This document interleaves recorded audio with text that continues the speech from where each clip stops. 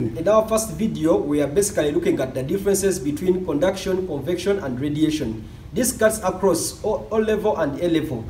But in the next video that we are going to discuss right now, we are going to particularly look at the A level section. For A level section, we also describe how the molecules gain the energy, how they move from one end to the other end, and some of the experiments that are involved in order three. All these ones have experiments, and for A level, we also have calculations that are engaged in this topic. So uh, get ready for the A level part. We shall start with conduction. In A level conduction, of course, A level and O level does not change, but, but what the content that is added in this section here makes it advanced and the other one was ordinary. Uh, what makes items move? We shall look at poor conductors uh, and good conductors. You must have to remember in good conductors such as metals, what is the difference between a good conductor and a poor conductor? The first difference that we used to look at was in good conductors we have mobile or free electrons. And in poor conductors, these the electrons are bound to their nucleus. Electrons are they are not free to move. Electrons are bound to the nucleus. So what happens with this statement? What happens is when you're looking at the conduction, when heat is supplied at one end of the poor conductor, end A, the atoms at this end gain thermal energy. When they gain the energy, they vibrate at higher amplitudes. As they vibrate at higher amplitudes, they collide. By the way, atoms are very close to each other.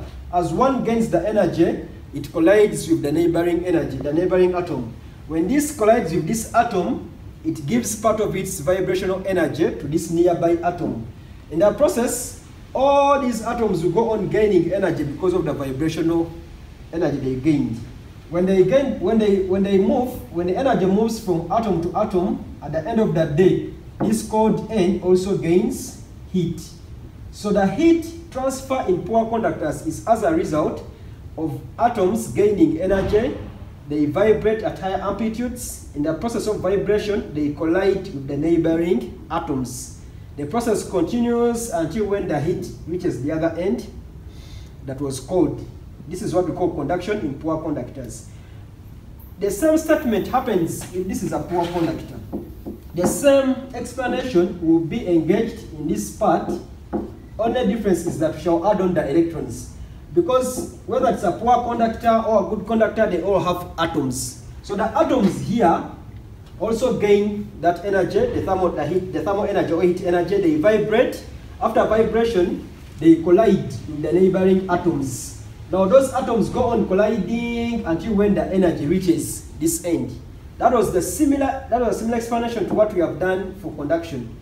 The only difference we are going to add in that in addition to atoms, we also have free electrons in these good conductors. Now those free electrons also gain thermal energy. When they gain thermal energy, their velocities increase. When the velocity of an electron increases, eh, also its kinetic energy increases because kinetic energy is a half mv squared. So when the electrons get higher velocities, their kinetic energy increases, and when that energy increases, that energy is given to the neighboring atoms because also electrons will be moving from one end to the other and They will go on colliding. In the process of movement, they collide with atoms they come across on their way. Whichever atom they collide with, they give part of their energy to those atoms. When the atoms gain the energy, they also vibrate. So there are so, uh, multiple vibrations here. Atoms have gained energy from electrons. They have also gained energy from the, their similar atoms. So there, there are two types of uh, gains that we get here. So when they get this energy, atoms move, atoms transfer that energy from one end to the other end, as electrons are also transferring the energy from one end to the other end. Therefore, an electron, I mean a metal or good conductors, are better transfers of heat because they combine two things. They combine the electrons that move drift from one end to the other end, and also they have the atoms that also gain energy and collide with the neighboring atoms, hence transferring the energy. this is the explanation why uh, they can ask you to explain why. Uh, no, no, no. They ask you to explain the mechanism, mechanism of heat transfer. Heat transfer in good conductors or in poor conductors. That's what should always be explaining. Now we are going to look at the other part. The part of uh, we want to look at the, the, the more advanced information where we have the, the calculations that are coming in to this part here. Now in this video, we are looking at, still we are looking at conduction. We are, we are going to split these three modes. We give more explanations to each of them. Then we have started with the good and poor conductors. Now in the conductor, we are now we are looking at transfer from the hot end to the cold end. But we are checking how does heat get moving from one side to the other side? Does it get lost? Because we know sometimes we say heat lost by this, heat lost to the surroundings. Now we have considered two items. One, the unlagged. What is lagging? Lagging means trying to insulate, trying to protect your heat, accumulate all the heat in one region, and that doesn't get away, doesn't, that doesn't escape the surroundings. So unlagged is when you have, this is our material, this one here. This material is not lagged, doesn't have any covers, any insulators. But we have another material here that is lagged. Now, in a material that is not lagged, a mat that is not lagged, heat moves out, heat escapes through the surroundings. And when you get the graph, of course, the temperature here, after some time, temperatures, the temperature stabilizes. When it stabilizes, if you have, for example, 80 degrees, you might end up having 60.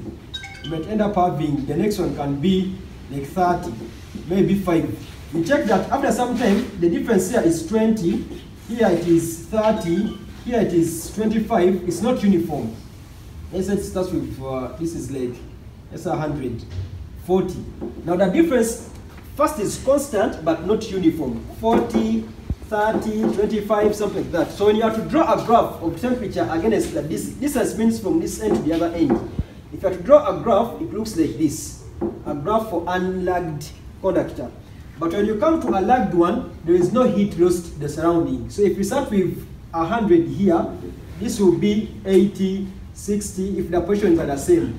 If these are 2, 2 centimeters, 2, 2, 2, 2, 2, 2, 2, 40, you'll find that here the difference is 20, difference 20. So the difference is the same. After some time, the, the temperatures are constant and the differences are the same. So it means the rate of transfer of heat here is constant. And if you are to draw a graph of the lagged conductor, this is how the graph appears. It is a uniform decrease of the temperature. Yet this one was non-uniform. This is how the curve is. So these are the graphs for conduction of transfer of heat between unlagged conductor and a lagged conductor. Now we are going to look at the factors, the factors that determine the rate of heat transfer that are going to take us to the calculations that we want for this part of conduction. In the previous video, we are discussing the graphs that show us the lagged and unlagged conduction, how it transfers through those materials, but when one is insulated and the other is not insulated. Now for this example, for this part here, this video, is just to show us how we could go about the calculations. These calculations are very common in your papers, and, and they are the sweetest, they are the simplest in all the papers that you shall be doing. But now let us start by considering a thin disk of dimensions. This is like a length. Dimensions dx uh, one end has temperature theta 2 and the other end has theta 1. Here we assume theta 2 is greater than theta 1 because our heat, these arrows are representing heat. Heat is transferring from this region to the other region, meaning that theta 2 is higher than theta 1. We assume that these are lagged conductors. Now the heat transfer, this is the most important, heat transfer, the, not the the rate of heat transfer, that's what the rate the rate at which heat is transferred, the time at which heat is transferred, rate of heat transfer depends on two factors here. Depends on, okay, three. One depends on, depends on the temperature gradient. Temperature gradient means temperature over the distance. That's what it means. It also depends on the cross-sectional area, this region here. This is called cross-sectional area. Depends on the cross-sectional area of that material. Now, if you are to get this into a formula, we shall say heat transfer is dq dt. Q is for heat and T is for time, so it makes it rate. Depends on the cross-sectional area and the temperature gradient, the theta dt. Where the theta means theta 2 minus theta 1. Now mathematically, if you look at this expression in science, we normally remove this. We remove this symbol and we put a constant. So shall have dq dt is equal to negative k a d theta over t. Somebody can ask us, why do you have a negative? When you do mathematics and you study differential equations, we shall look at the negative parts in that part, but here we can explain it. A negative is because as the heat is transferred from one end to the other end, it goes on reducing. If you had 80 degrees Celsius here, the temperature, you end up with 20 degrees. It means heat has reduced.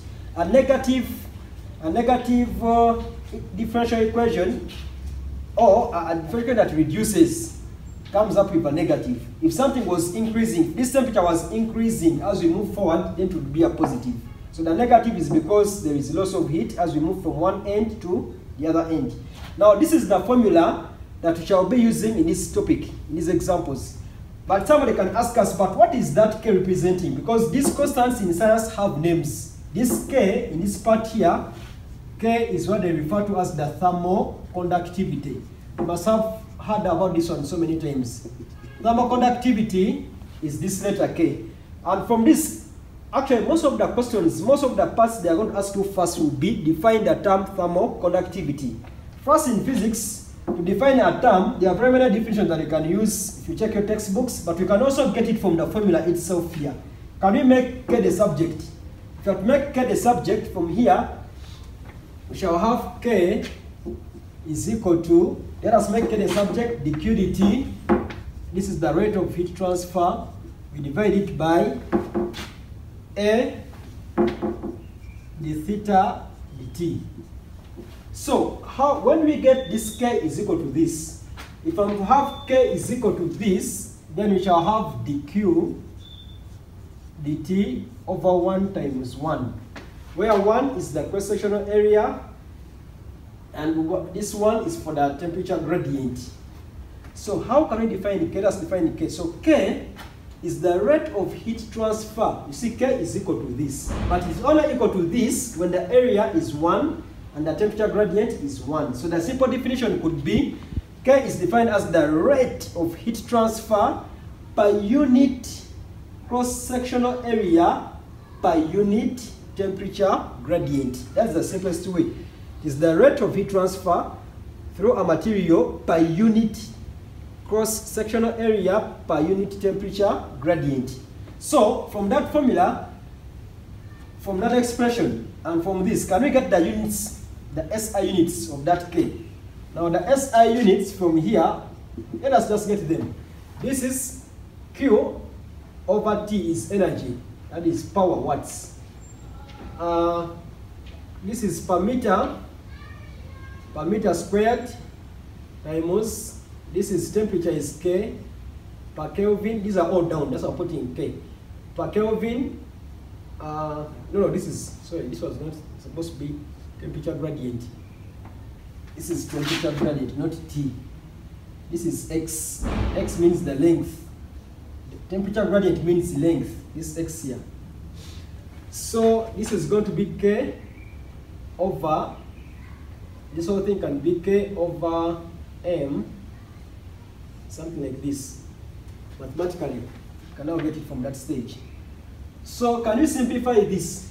When you simplify this, you can write it down in your books, then you simplify after. When you simplify it, it will come up to something like this. Let me just write for you the final unit. I shall get is watts per meter per Kelvin. This is the SI unit of thermal conductivity. It's a common question. They ask you to define thermal conductivity and they say state its SI units. So, uh, now I'll show you the, how to apply such a formula in this, this example.